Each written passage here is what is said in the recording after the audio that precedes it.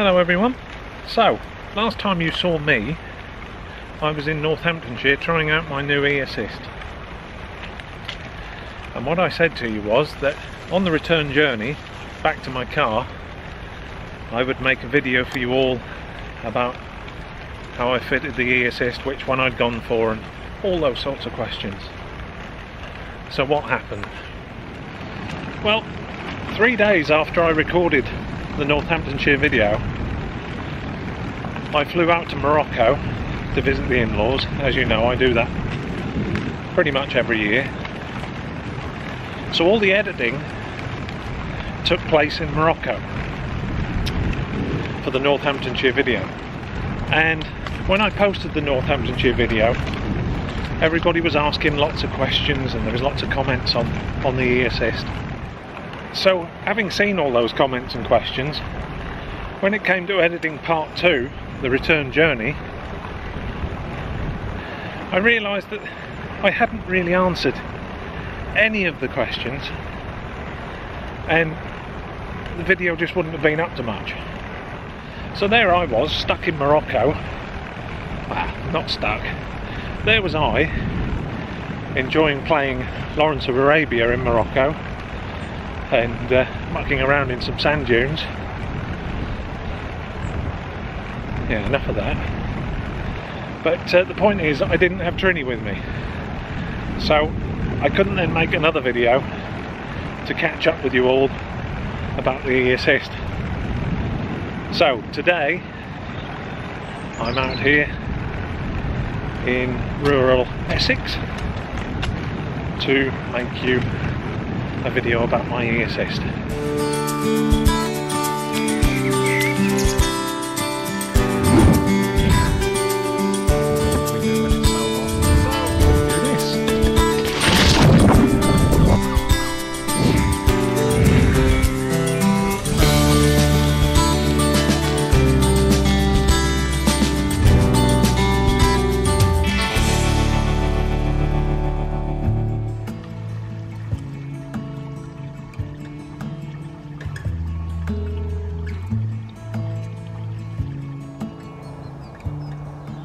So how does this e-assist look attached to the trike then?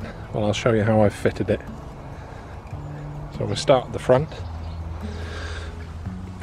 There's the motor itself.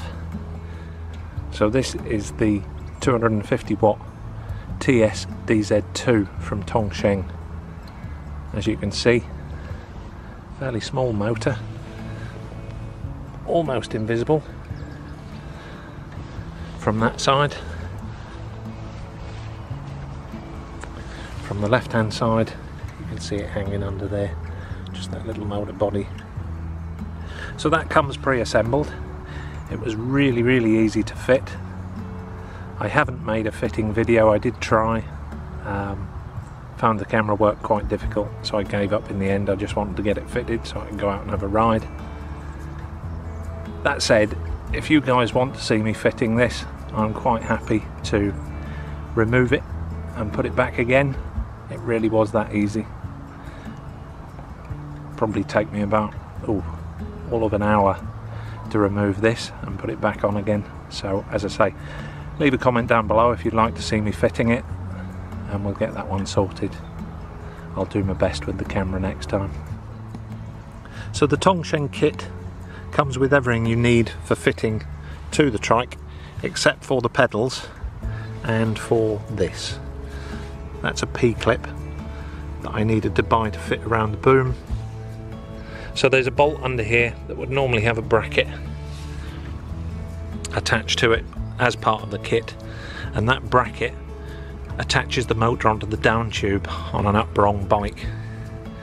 Obviously on a trike that doesn't fit because the trike doesn't have a down tube but it does have a boom. So it's necessary to buy this P-clip that then attaches through the bolt hole and around the boom. So if I can get the camera straight and hold it steady, it stops the motor from pivoting around the bottom bracket and holds it nice and steady. But apart from that, the P-clip and the pedals, everything else you need is in the kit. So whilst we're under here, There are three cables that are already pre-attached to the motor. They come out the rear of the motor and the cables are colour coded. I think you can see one there, yeah. So those three cables attach to the battery, the speed sensor and the controller.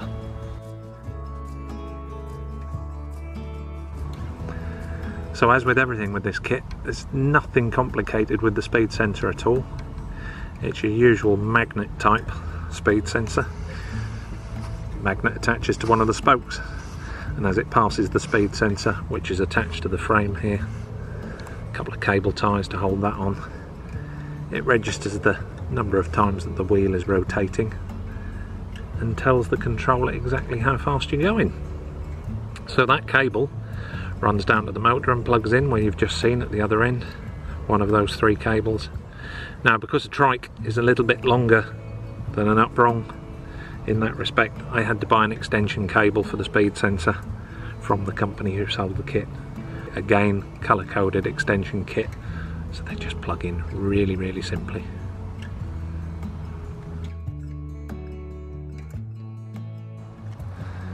The second of those three wires goes to the controller which as you can see there I've mounted at the top of one of my stand assist bars in my cockpit.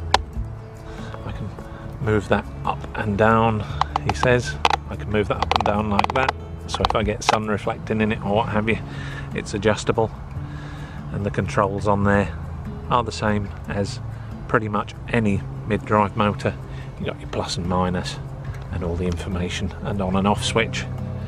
And as you can see the cables running down the stand assist and just attaches straight into the motor. Again, it's just a simple case of putting that on there with a handlebar clamp, which comes as part of the kit.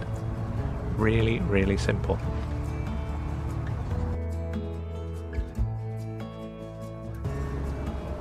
So of the three cables that come out of the back of the motor, the third one is the one that runs to the battery. So let's have a quick look at the battery that I bought. So I decided to go with this battery pack um, I'll give you a couple of reasons why in a moment. But this is a 36 volt battery, it's 10 and a half amp hours, and as you can see, it's about the size, if not the length, certainly the width of a drinks bottle, a bike drinks bottle.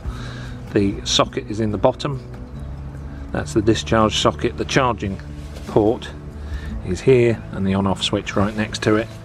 Now I've been told by the company that I bought these off that they contain Panasonic power cells in there, so they're quality cells, though I have checked all this writing on the bottom there and on the box that they came in and everything to do with them, all the paperwork, and I cannot find anywhere where it tells me what sort of cells are contained in this.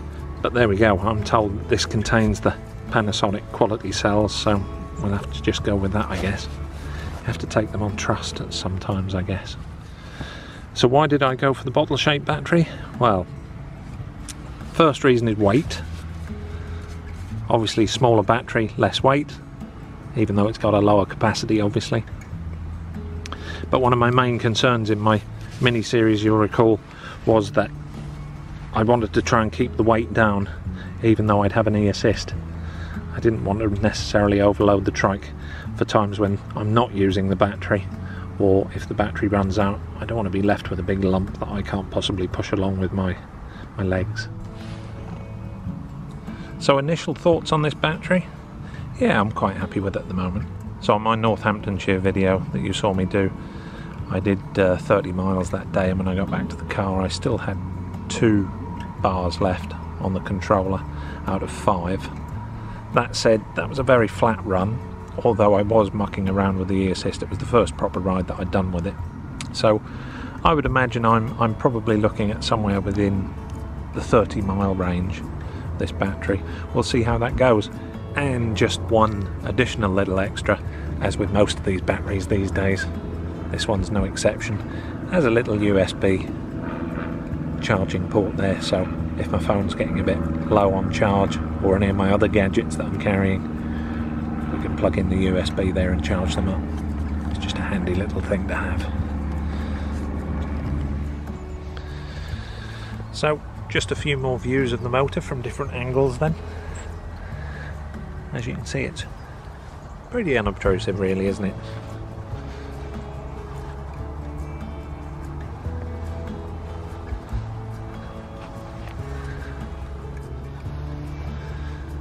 This is the view that I particularly like, i.e. I can't see it. Also you can see how the battery's only just slightly wider than the boom so there's no way that's getting in the way of my legs going up and down as I'm pedalling.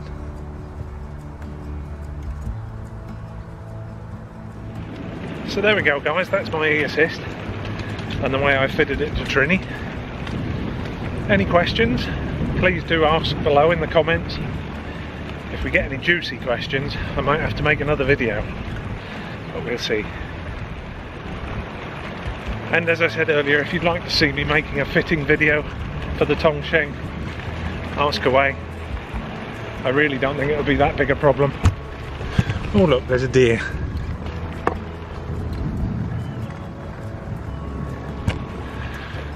It's funny what you get to see. I hope I caught that on camera. So where was I? Oh yes, fitting video. Yeah, if you want to see me fitting the assist, no problem, no problem at all. It really is that easy. Morning. And just in case you're wondering, no, it's switched off at the moment. I'm pedalling under my own power and I shall continue to do as much of that as I can. So that's it for this one then guys. Just a short one to show you what I've done with the e-assist. We'll be talking lots more about the e-assist in upcoming videos I'm sure. As we go different places on different rides. We'll see how well it works.